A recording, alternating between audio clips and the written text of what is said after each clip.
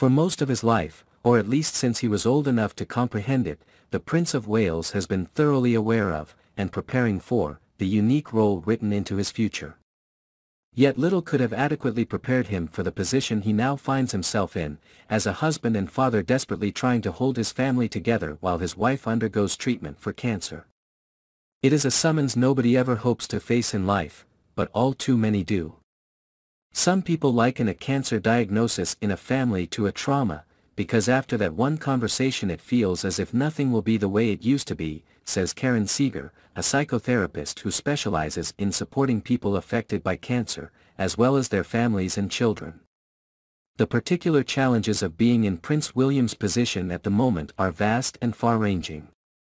In the first instance, he is on hand to offer immediate emotional and physical support to his wife, the Princess of Wales, he also will have helped her delicately explain the situation to their children, George, Charlotte and Louis, as well as field their questions in return, and he will also need to take on more domestic responsibilities at Adelaide Cottage, the family's home in Windsor, where the Waleses have no live-in staff.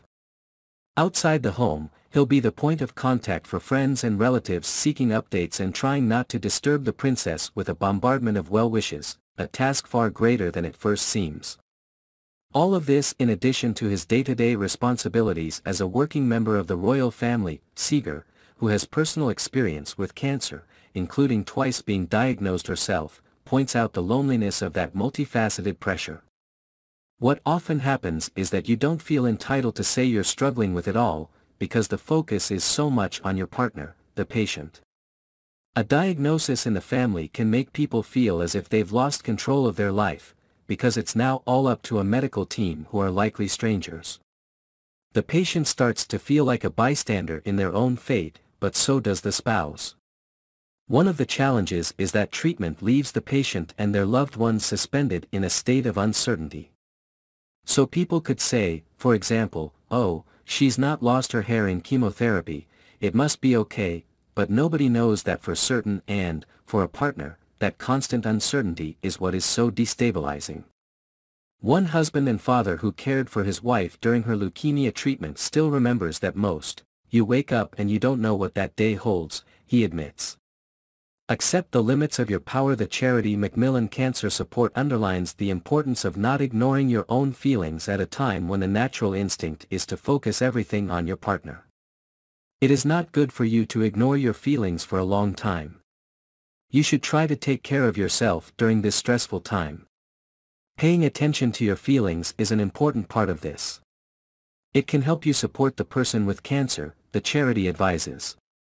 An added challenge is that some men, and women, see themselves as fixers, or think they are experts at applying logic and process to problems in life, but an illness such as cancer throws a spanner into that. Prince William is both personally resourceful and has bountiful resources, but he cannot influence everything. Those sorts of people struggle most as they find themselves in a situation they cannot fix, which causes anxiety, Seeger says. The advice is to instead, fix the way you look at it, and try to accept the limits of your power. One woman who recovered from cancer said her husband felt almost jealous sometimes because the patient gets all this attention and sympathy and can just scream or cry or collapse or whatever, but the partner has to just keep everything together and not be grumpy.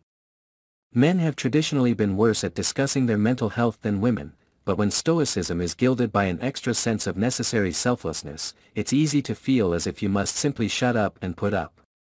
Keep daily chores running the 11 feelings that people commonly feel when a loved one is diagnosed with cancer, according to Macmillan Cancer Support, include the following, shock, fear, anxiety and uncertainty, denial, grief and loss, sadness, anger, resentment, guilt, loneliness, and tiredness and exhaustion. People can get frightened and frustrated when their partner is going through this, Seeger says.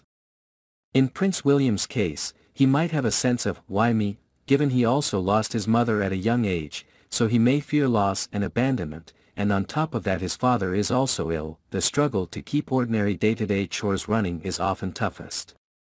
One man whose wife went through treatment for breast cancer while their two young children were at school recalls trepidation at heading to the school gates, where he'd be surrounded by sympathy and well-meaning questions, but felt the urge to get away as soon as possible. Another remedied this particular awkwardness by wearing large headphones on the school run, rather than come up with a response to the non-specific, what can we do to help? Find space to recharge but Seeger says that rather than fending off all well-wishers, it can be useful to work out exactly how friends and family could help with the domestic load. Though, as that same husband points out, it's not that helpful to have tearful relatives around, he adds that another challenge was having to learn how to cook, pretty damn quick. His wife previously did the cooking but was unable to do so during her chemotherapy treatment. The calls for food would come at any time, my wife wouldn't have eaten for days through sickness, then would suddenly fancy lamb cutlets and mashed potatoes. Ultimately, for any spouse shouldering this, the key, says Seeger, is not to put too much pressure on yourself. Slowing down is difficult for some people. There is pride, fear, and people like to use battle language, we cannot let this beat us. But you have to carry on with hobbies, or meeting friends, or finding space for yourself. You need to recharge mentally, however you can.